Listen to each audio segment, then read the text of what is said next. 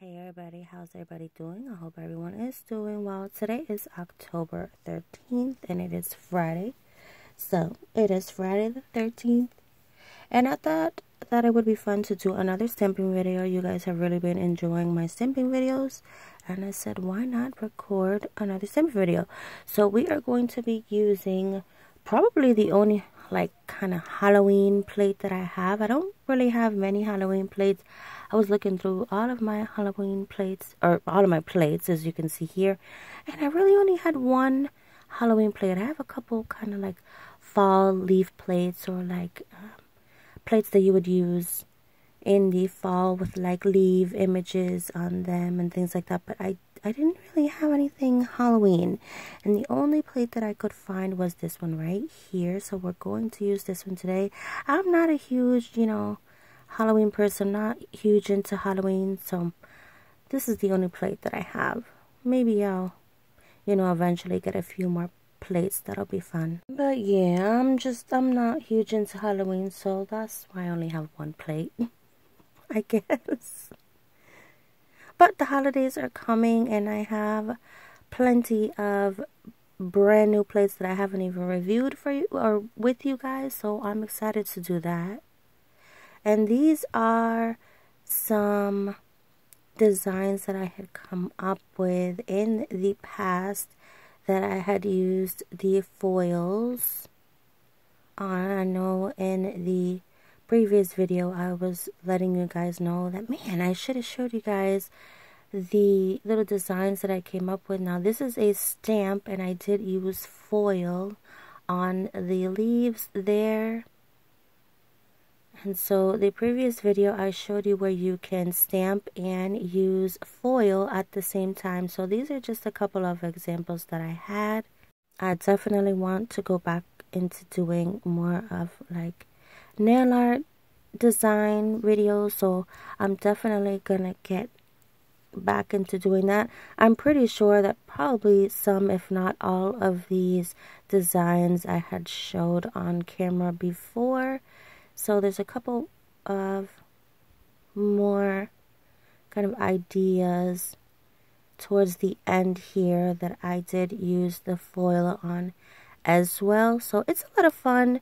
You can be really creative with these foils. You not only can use the foil like on a whole nail, um, but you can do different things like this. So stamping and foils is definitely a lot of fun. If you didn't see uh, kind of the method that I use to or when I'm using the foils and stamping I did do a video on it and I will leave that linked below if you did not watch it. And I'm going to show you a few more examples here of some designs where I used the foil. So again so much fun a lot of fun.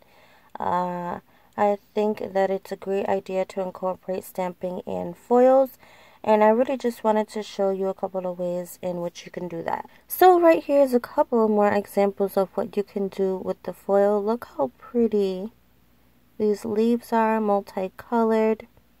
So much fun. You can be and be, you can be so creative and get so creative with these stamping plates. These foils are really I don't even know the word that I am looking for, but you can use these foils as most of you know, not only like on a full length nail, but you could create a French look with these foils. You could again do a full length nail if you would like. You can kind of just do little patches. Kind of the possibilities are endless. Here I accidentally showed my face and I didn't want that so at least not yet. Um, I've always thought of doing a face reveal and that's just not something that I am comfortable with doing. Uh, I don't really know. I'm not sure why, but I do feel like eventually, you know, maybe if we get a little bit farther along you know, with my goals and, you know, how kind of where I want this channel to be. Uh, but eventually I'll do a face reveal. Maybe. Just, I don't know. Um, this is a nail channel, so there's not really a need for me to show my face either, unless that's just something that my viewers kind of just wanted. Um, but I don't know. I mean, everything that I do is, you know, on my channel for the most part is with my hands, and there's no need really to show my face. So, I don't know. Maybe we'll work on that someday. That might be fun and like a vlog or something.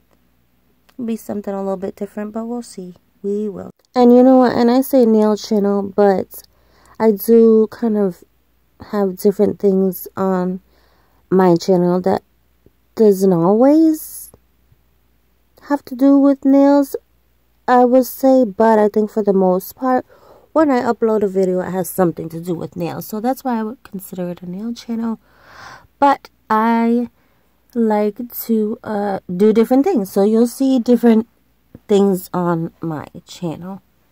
So, here is a beautiful pickup. And I have done a couple of nail videos already with kind of like how to you know, like how to videos or how to stamping videos. So if you do not know how to stamp, I definitely have a couple of videos that might be able to help you. And I will leave them linked down below. And definitely stay tuned because I am going to be doing some more stamping videos. There are some plates that I have that I have not reviewed with you all yet and I thought that would be fun as well. I am still working on my storage for all of my plates. I kind of don't want them in different, you know, little binders or little holders. Uh, for now, I think I like them like that, but eventually I think I want to get something a little bit bigger that can house all of them, you know, all together. So I'm going to be working on that. I love stamping. It's so much fun. I remember when I first started stamping, I just I just didn't get it and it takes patience and practice. So, if you are new to stamping and you tried it once and you did not get it, I would recommend that you continue to keep trying. And if you don't pick up an image, it might be something that you're using or or not using. So, you know, if you have a stamping polish that seems maybe a little bit thin, you might want to get a, another brand. And that polish might be a little bit thicker for you. I have also made a video on regular nail polish actually working for stamping. So you can try that as well if you do not have stamping polishes. And also if you are not happy with the image, this is why I am doing these designs on a gel kind of swatch here. If you are not happy with the image, it is very, very easy to uh, get rid of the image. You just want to use a little bit of acetone on the image. And I'm going to show you just in a second on how to do that. Here is a great way to clean your stamper. I love to use a lint roller. A piece of tape is fine if you do not have one. I want to work on getting different sized stampers too. I do have a couple of different sizes, but I, am trying to find one that is maybe an XL, you know, like an extra large stamper. I know that there are some out there. I just need to do my research and kind of figure out which companies have kind of larger stampers. So if you know of a company that has kind of uh, larger stampers, you know, maybe like double this size, please let me know in the comment section below. Because when you are doing a longer length nail, it is just easier to have a section of, you know, the stamper head that is just bigger. For those bigger images, I have a lot of small image plates. I don't really have a lot of plates, you know, where the images are big. Also, you know, a nail is only so big and there's only so much image you can actually fit on a nail. And sometimes you have to double and triple up depending on the size of the nail. Uh, but I don't know. We'll see. You have to excuse me for the way that I sound. I am so sorry, but I am still on the mend and getting back on track. You know, after being sick for, I think this is going on two weeks now. But I'm much better than what I was trying to keep myself healthy. You guys be careful out there. There's a lot of flus and other things going around, so please be careful out there. You know, there is something about a silhouette image. I love, you know, really detailed images, but for some reason, I love a nail art design that has kind of silhouette images in it. I just think that I'm not really sure why I like it better than a really detailed image, but I just think it looks so cool. Like, does this not look amazing? Look how cool. It's like they're... I don't know. I don't know. I really don't know how to explain it. I can't. Almost like it's like a shadow. Not a shadow.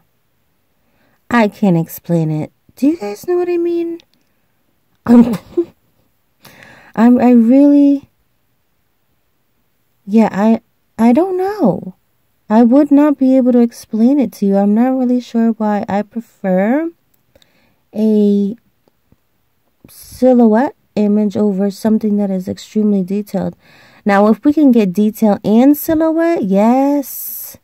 A mixture of the both, I love that. Like this right here, I'm probably going to bring this plate out again and and maybe do some some more nail art for you guys. But if you are not happy with an image again it is very very easy to get rid of that image with a little bit of acetone. Now depending on how you scrape or even sometimes if you're not quick enough with picking up the image you can get a image to kind of distort and not come out correctly. So this is a you know this is something that you want to do fairly quickly.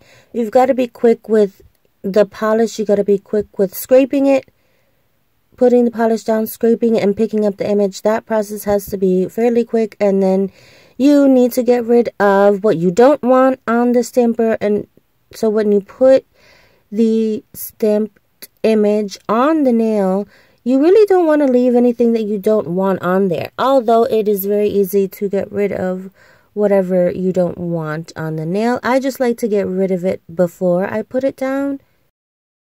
If you watched this video so far, I appreciate you so much. I hope you enjoyed it. I will see you guys in the next video. Thank you so much for watching. Bye.